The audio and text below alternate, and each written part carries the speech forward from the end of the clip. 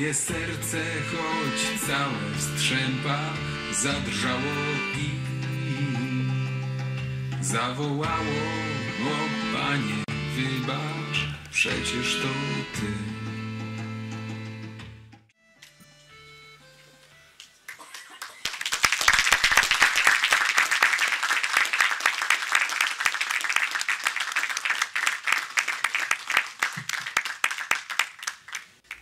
Proszę pana, no to długo by mówić, y, bo to oczywiście szalenie człowieka porusza, po prostu porusza ta rzeczywistość, którą film ukazuje i od tego trzeba zacząć.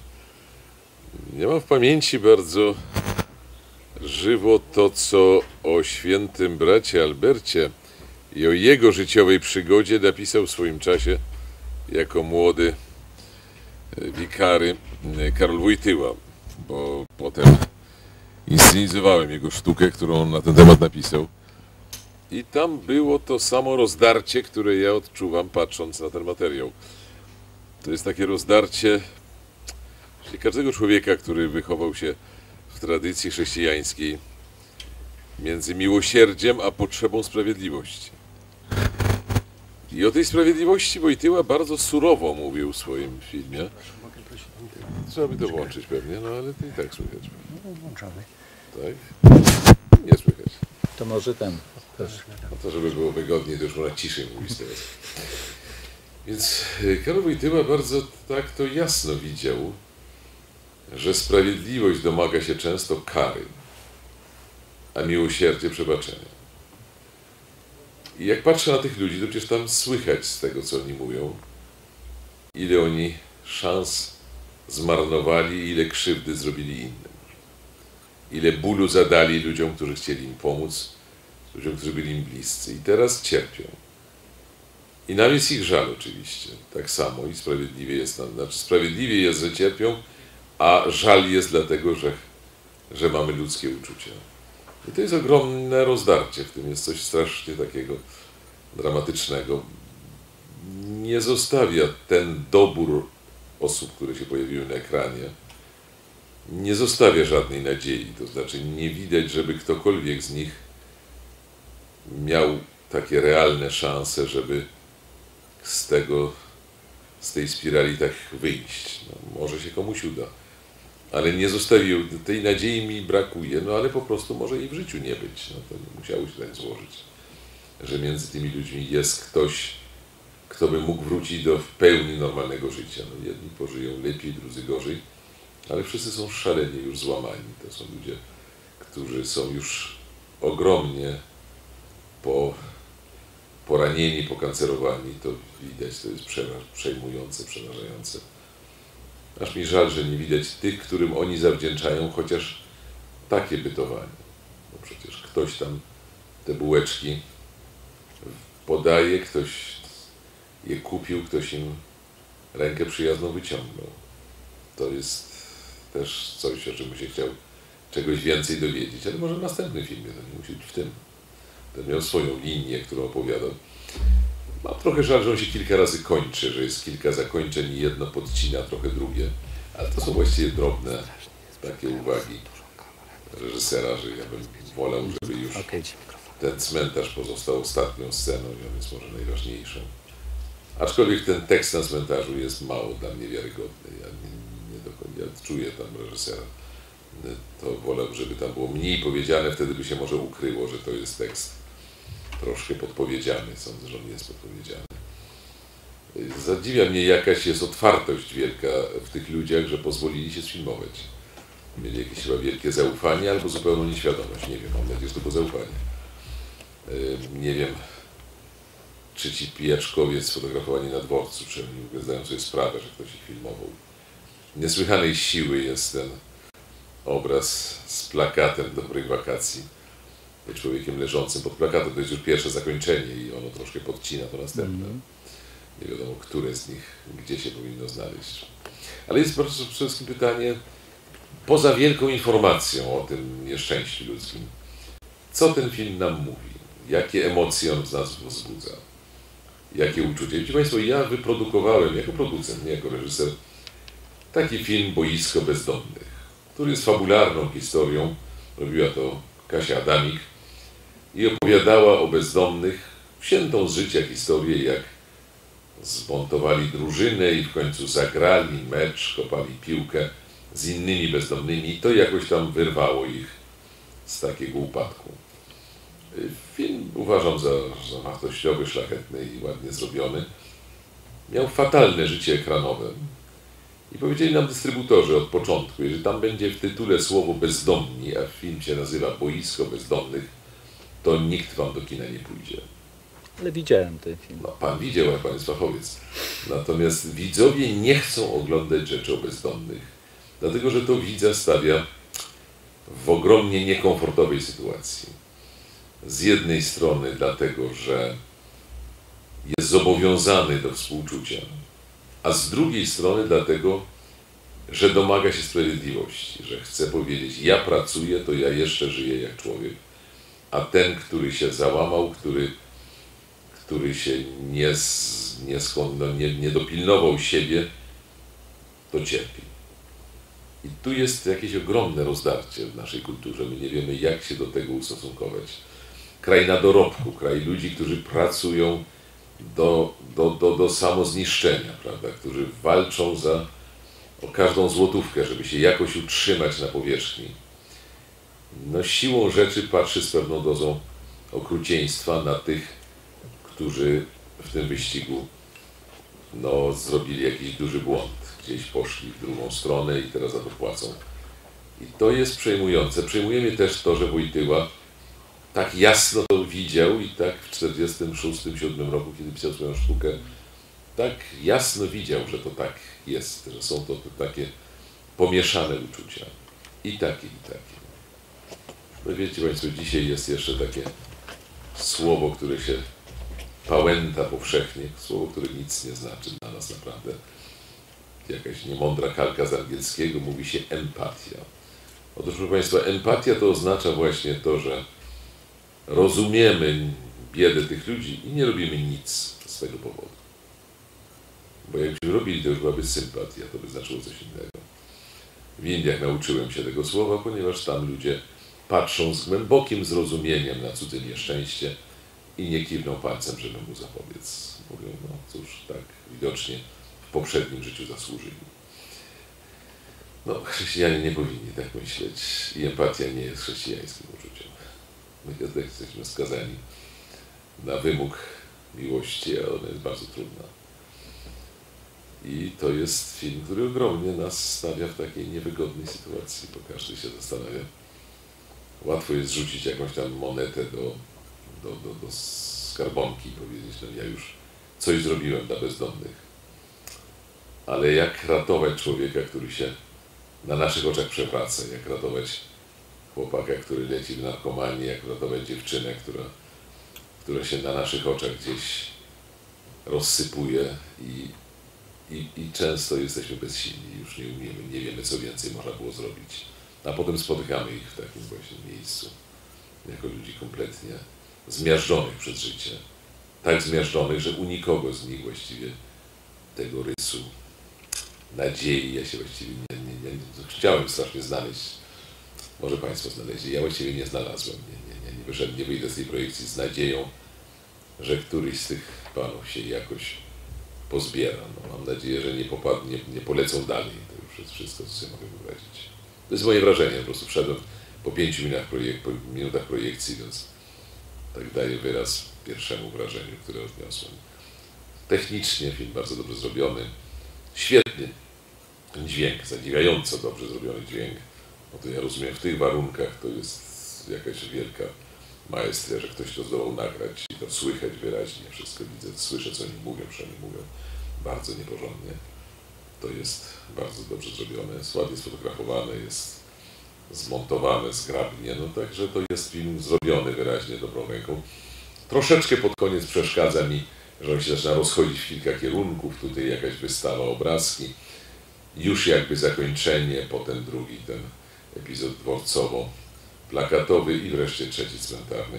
To z punktu widzenia konstrukcji pewnie można było w montażu lepiej wybrnąć, ale to jest naprawdę drobna, drobna uwaga. Ja też nie jestem pewien, jakby to trzeba było zrobić. Może by popróbować chyba to troszkę bardziej uładzić, ale to drobiazg bez znaczenia.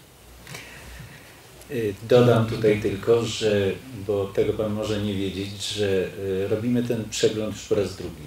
W ubiegłym roku jeszcze w dawnej siedzibie kina, dzisiaj po raz pierwszy w tej, w której jesteśmy od trzech miesięcy. Państwo przyszli kupując bilety. Nadzwyczajne. I wczoraj także na, na pierwszym pokazie była ta sama zasada. Zatem są ludzie, którzy chcą to obejrzeć. Rzeczywiście to boisko dla bezdomnych miało fatalną, fatalną drogę przez ekrany i myśmy zastanawiali się zresztą, czy nie pokazać tutaj, pewnie to zrobimy przy najbliższej okazji. Natomiast co do, e, co do tej bezwyjściowości, braku szans, e, pamiętam, że rok temu też była dyskusja po, po tych filmach i padło z sali pytanie, jaki procent wychodzi z bezdomności. Pamiętam, że wtedy Darek mówiłeś, że to jest poniżej 10%, nawet poniżej chyba 5%, tak? E, tak, w skali naszego, e, naszego tutaj schroniska. Tak. W skali jakby ogólnopolskiej to jest około 3-4%. Następny film miał być o tym, który wyszedł, prawda? Tak. Który dostał mieszkanie, no ale ta historia, życie dopisało tutaj dramatyczną puentę, bo nim wszedł do tego mieszkania, pojawiła się choroba, która okazała się śmiertelna. Także to, to gwoli tego. Natomiast y, to słusznie Pan powiedział, że to jest w tej chwili olbrzymi problem, ale to jest też problem naszej wrażliwości, naszej mentalności, sposobu, w jaki patrzymy na to. Prawda? Czy, czy Pana zdaniem na przykład w Europie, w Europie Zachodniej, która ma z tym problemem dłużej do czynienia. Towarzystwo Świętego Brata Alberta istnieje 30 lat, bo jak wiadomo PRL nie było bezdomnych, powiem ironicznie, bo po prostu e, nie, nie było takiej kategorii, to była jedna z rzeczy, która była zakazana, prawda? I kiedy wybuchła Solidarność, pojawili się, pojawiło się takie towarzystwo i postawiło problem na porządku dnia. Prawda? Czy Europa Zachodnia sobie lepiej z tym radzi niż my? Oczywiście, że lepiej, bo jest bogata. Bardzo łatwo sobie poradzić. Im więcej pieniędzy, tym więcej łóżek, tym więcej przestrzeni, tym więcej jedzenia. No to są takie szalenie proste zabiegi. To nie znaczy, że jest więcej serca. A, to zupełnie nie. Ale u nas tego serca też brakuje. To I brakuje go w naturalny sposób. Jakby, no, idąc już za głosem Wojtyły, ja też jakby rozumiem tych, którzy no mówią, no to ich kara spotyka sprawiedliwie, bo jakąś życiową szansę przegrali. Tylko no jedno jest sprawiedliwe, a drugie jest miłosierne. Z kolei kara spotka sprawiedliwie, a chcemy, żeby człowieka spotkało jeszcze ułaskawienie, żeby nie odpokutował wszystkiego do końca. Za tą mhm. budeczkę wypitą, za ten narkotyk przyjęty, za tą kobietę zdradzoną, za to, za to dziecko bite, wyrzucone, które gdzieś tam zostawił za sobą. No to się ciągnie za tymi ludźmi i chciałoby się, żeby to się jak w hollywoodzkim happy endzie z powrotem pozbierało. A to się nie chce pozbierać. A my z drugiej strony wiemy, że żyjemy pod strachem tego, żeby nas to nie spotkało. Że człowiek się zbiera rano do pracy, bo myśli sobie, no mogę zostać bezdomnym, to będzie jeszcze gorzej, jak mi wyrzucą z mieszkania, to się jeszcze zbieram do wysiłku. To jest ten strach i o tym właśnie Wojtyła wkładał to w usta Maksymiliana Gierymskiego, niewinnie, bo Gierymski nie był takim liberałem, ale on wkładał to jako pewną ideologię. Mówił, tak też można rozumować że to jest potrzebna w społeczeństwie taka kuracja wstrząsowa. Popatrzcie na tych, co zbłądzili, to nie zbłądzicie. A to też jest faryzejskie bardzo. Bo Boże, dzięki Ci, że nie jestem taki jak oni. Mhm. Straszne to wszystko razem. Także to jest splot, z którym nie łatwo sobie poradzić, a im więcej pieniędzy, tym łatwiej to idzie. Mówię także na Zachodzie wraca taki motyw, że wszystko chciałoby się etatystycznie, tak spędzić, zrzucić na państwo. Mianowicie się państwo tym zajmuje. My płacimy podatki, a państwo ma się zająć bezdomnymi. Jak już się pojawia wolontariat, ludzie dobrej woli, którzy coś robią z własnego impulsu, to przypominam Państwu, jak za komuny walczono z jakimkolwiek przejawem wolontariatu i do tej pory na Zachodzie te sfery postępowe uważają wolontariat za rzecz bardzo naganną i walczą z tym we Włoszech Partia Komunistyczna zawsze bardzo była przeciwna wszystkim wolontariuszom. Mówiąc, że oni zawierają pracę i oni są z kaprysu, a oni powinni za pieniądze pod kontraktem pracować, wtedy można na nich liczyć. A nie to, że robią to z impulsu serca. To jest dość duża światopoglądowa różnica, jak budujemy społeczeństwo. Czy opieramy się na ludzkiej dobrej woli, czy opieramy się na pewnej pracy kontraktowej i mówimy, dobra wola, to tam sobie zachowajmy w domu, a takimi sprawami mają się zajmować ludzie, którym za to zapłacono. Y, To mnie też ciekawi, bo ja z drugiej strony myślę, że im bardziej nasze społeczeństwo w tej chwili wpada w ten wyścig szczurów i więcej ludzi tak strasznie zabiega o tą finansową sukces, finansowy sukces, to też tym więcej ludzi spostrzega nagle, że właściwie wolontariat jest naj, najpiękniejszym rodzajem życia, dużo wartościowszym niż robienie tych karier w bankach, w korporacjach i że to wolontariusze żyją pełnią życia, a ci biedni dyrektorzy banków są to po prostu zagonione szczury, które mają no naprawdę pieskie życie, chociaż nie wiem, czemu psy przypisywać taką nędzę. I że zupełnie kto inny naprawdę lata na skrzydłach. Lata ten, kto daje, kto ma szeroki gest i nie musi tyle mieć. A ten, co ma wszystko, żyje nędznie. No to też się dopiero teraz odkrywa, bo to przecież 20 lat zamożności, maleńkiej zamożności, która do nas przyszła, dopiero początek. Zachód to wszystko ma za sobą, to już przerobił. Na Zachodzie przykład wolontariat jest w tej chwili bardzo wzięty w młodym pokoleniu. Dużo więcej ludzi się rwie do wolontariatu dzisiaj niż 20 lat temu.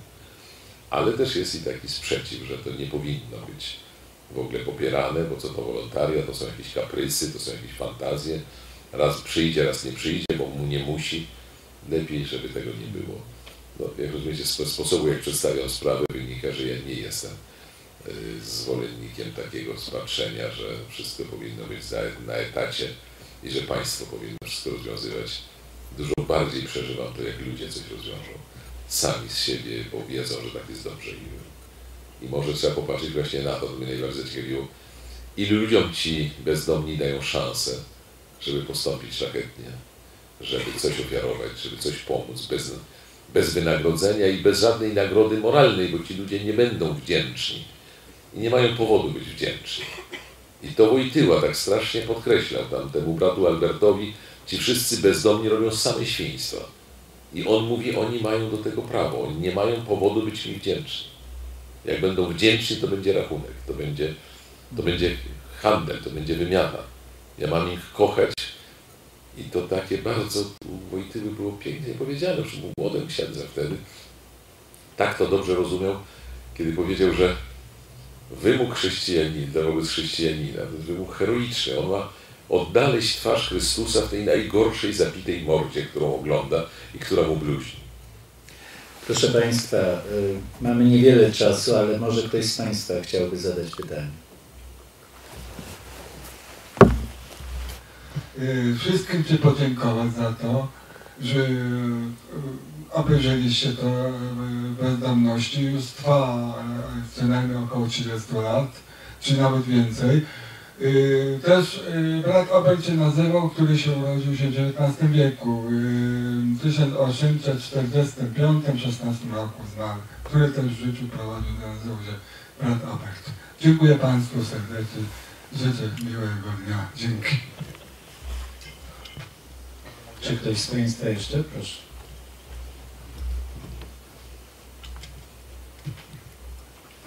Więc ja mam takie wrażenie po tym, co Pan powiedział na początku, że e, jesteśmy na tej samej sali, ale jakby na, na różnych filmach, nie? A nie wiem, czy e, nie umknęło Pańskiej uwadze, jeśli umknęło, to w końcowych napisach budżet tego filmu zamknął się kwotą 250 zł. E, Ja widzę w tym filmie wie- wiele nadziei, wiele nadziei. Mógłbym tutaj mówić o tej nadziei bardzo bardzo długo, nie? Nie wiem, powiem o, o, o paru momentach. No, ktoś się uczy języka angielskiego, nie? Ktoś buduje te, te miejsca do spania. Nie? Ten film jest pełen nadziei. Z 90 miejsc tworzy się 220. Ten film jest niesamowity. On niesie taką nadzieję e, tych 3%. Tym, którym się udaje wyjść. Ten film jest o tym. Film jest o nadziei. Film jest o wejściu ku, a nie o tkwiciu tam. Dla mnie jest to E, Jest to, jest to piękny film, można do niego mieć oczywiście swoje uwagi realizacyjne dotyczące e, tych końców jednego, drugiego, trzeciego, czwartego. W tym też jest głęboki sens, nie chcę tego jakby roz, rozgadywać, nie? Znaczy niepokoi mnie też takie myślenie, które tutaj też usłyszałem, nie? Jeśli się mylę, to proszę mnie wyprostować, nie? Znaczy był jakby taki apel, że nie wiem, filmowi zas, zaszkodziło to, że on miał w nazwie bezdomność, nie? To boisko na bezdomnych, nie? Znaczy ja uważam, że funkcją kina jest burzenie spokoju, nie? To w komunizmie było takie przekonanie, że jak nie będziemy o czymś mówili, to tego nie ma, nie? Nie było strajków, tylko były czasowe przerwy w pracy, nie? Więc mówmy. Mówmy o bezdomności. Nazywajmy ją, mówmy ją wprost. Zabierajmy komfort. O to chodzi w kinie. A pan już parę filmów zrobił, nie? Także też jakby rozumiem to, nie? Natomiast ja bym chciał o tym mówić wprost, nie? O tej nadziei, że to dla mnie pojmowanie nadziei to jest nazywanie tych rzeczy po imieniu, nie? Można się patrzeć na to z różnych jakby światopoglądów, czy z różnych płaszczyzn, nie? Natomiast nie uciekajmy od nazywania tego. Mam taki apel do Pana też, nie? Co Pan jeszcze ewentualnie zrobi, nie? Dziękuję. A to ja panu odpowiem bez mikrofonu, bo to nie ma znaczenia. Widzi pan, no ja zostawiłem ten tytuł, nie namawiałem mojej autorki, żeby zmieniła i do ludzi nie dotarł, dlatego, że było słowo bezdomny. Więc wie pan, ja się zder- zderzałem się z rzeczywistością. Rzeczywistość jest taka, że myśmy dumnie nazwali film Boisko Bezdomnych, a ludzie dumnie obeszli do kino dookoła i powiedzieli, na to nie pójdziemy. Trzeba to wiedzieć po prostu. Ja tego też nie wiedziałem. Gdybym wiedział tak, jak teraz wiem, to bym namawiał, żeby wciągać ludzi podstępem, skoro otwarcie od razu omijają kino, jak usłyszą tą nazwę. To jest wstrętne. Ale co zrobić? Taki jest, tak, tak świat reaguje. I to nie jest moja wina. Ja po prostu wiem o tym i trzeba to, no, trzeba być mądrzejszym. Nie byłem dość mądry, żeby to przewidzieć jako producent. Więc pan, tu zderzamy się z tym samym. Jest pytanie, co, co lepiej. No co powiem, bo boisko bezdomnych, a pies kulało na górach mi nie poszedł. Przecież jest piękny i szalenie optymistyczny, aż, aż hollywoodzko optymistyczny. No pan szczęśliwie był, ale pana nie trzeba przekonywać. To jest kłopot. Pan nie jest dla mnie pozyskany, bo pan z góry, pan był za, wie pan, pan był za bezdomnymi już od początku. No tak to jest, ale pan tu zobaczył troszeczkę optymizmu. No oczywiście to jest te 3%. Oczywiście facet, który się uczył angielskiego, strasznie mnie cieszy, że on to zrobił, ale nie, nie uwierzyłem, że on się nauczy. Po prostu i raczej byłem roz- zrozpaczony tym, że on podnosi ten wysiłek i ja czuję, że on za chwilę przestanie, bo to jest straszny wysiłek dla niego. Widziałem, jak komuś źle szło. No ja bym tak okropnie chciał, ale to jest moje, wie pan, to jest naiwne, dziecinne żądanie, że trzeba sobie zdawać sprawę, tak jak pan sobie zdaje sprawę. 3% i nie będzie więcej. Może będzie 4, to będzie już duży sukces. No to, że budują sobie to miejsce do spania, no fajnie, no ale, ale to jest konieczność. To nie jest akt jakiegoś wielkiego, nie, nie czuję się tam jakiegoś aktu altruizmu, oni po prostu budują to dla siebie. No i fajnie, że budują, że ktoś im dał to, tą przestrzeń. To wszystko jest dobre, bo przed chwilą mogli spać w Rynsztoku, w XIX wieku nie było schronisk i oni umierali co zima. Więc to jest zmiana na lepsze, to jest optymistyczne. No ale wie pan, człowiek chciałby jeszcze bajeczki, chciałby takiej ładnej historyjki, która by go ucieszyła. Chciałby dobrych, biednych, którym wystarczy troszeczkę pomóc, a oni natychmiast wychodzą ze swojej nędzy. No wie pan, jacy jesteśmy słabi. Ale to nic dobrego, co ja mówię, to mówię, taka jest słabość ludzka.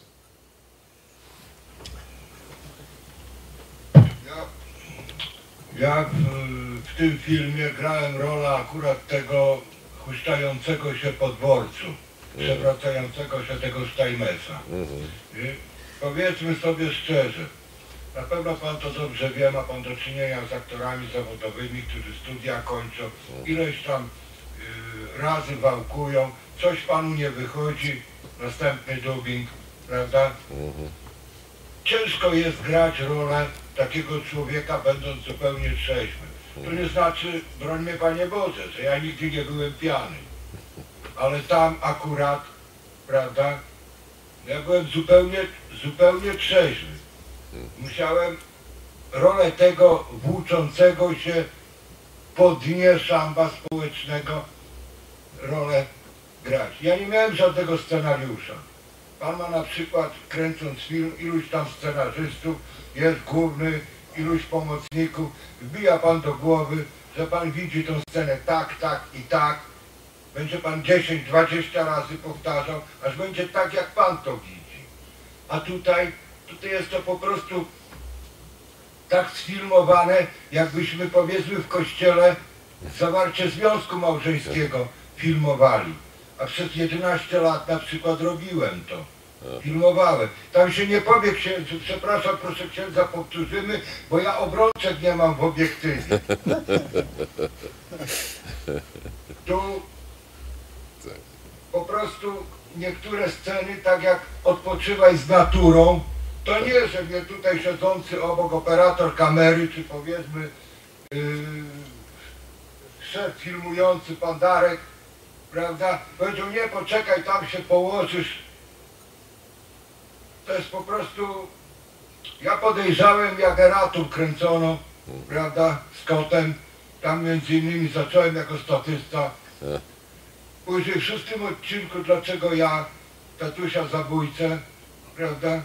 No przez ileś tam lat pracowałem kamerą, także no miałem, mam doświadczenie jakieś. Ja w tej chwili, gdyby mi to samo kazano jeszcze raz po prostu odtworzyć, czy w, wczuć się w tą rolę, ja na pewno bym nie popełnił iluś tam błędów, które ja już widzę.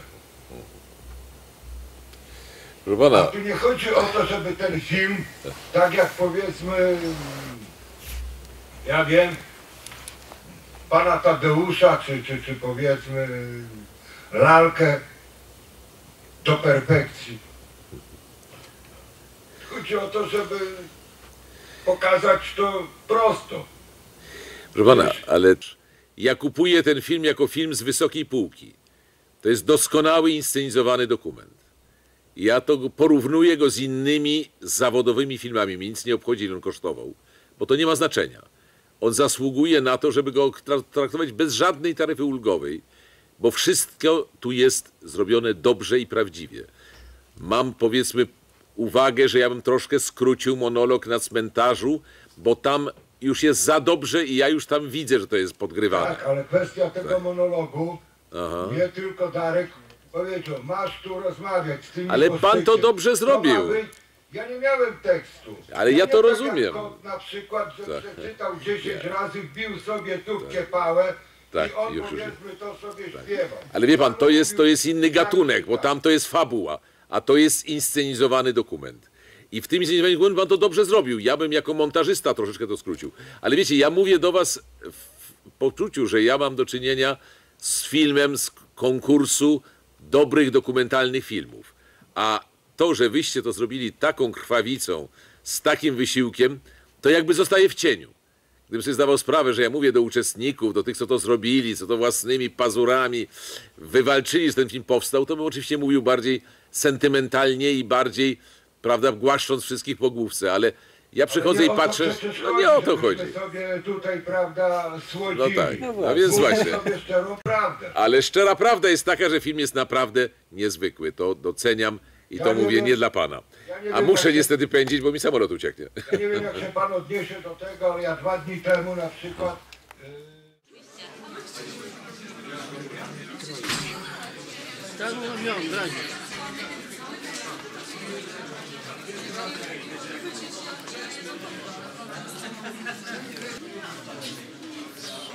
ale to właśnie z niego właśnie spokój zrobić. Ona już teraz to przynajmniej jest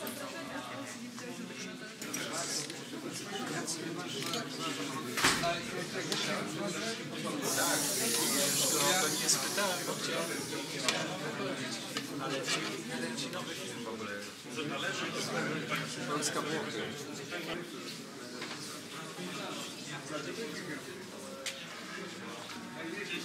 Ja to i tak jest...